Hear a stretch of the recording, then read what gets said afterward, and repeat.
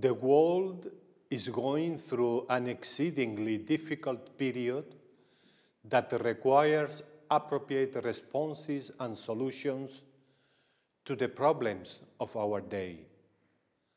For this reason, it is significant that each year on February the 4th, we celebrate the International Day of Human Fraternity, as established on December 21st by the General Assembly of the United Nations.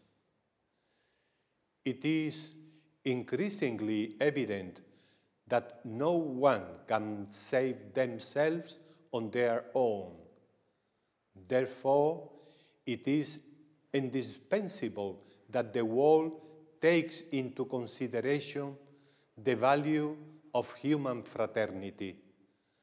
There is a real need for the human family to come together in an unified spirit and in true friendship to develop responses to problems affecting us all. Religious leaders, especially, must help spread hope and give witness in the societies where they live to unity, solidarity, and fraternity. The date of February the 4th is not coincidental.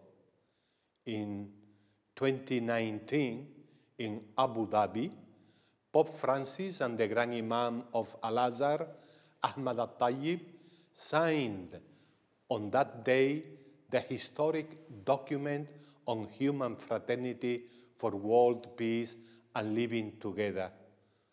Also later supporting a proposal to dedicate a day of human fraternity.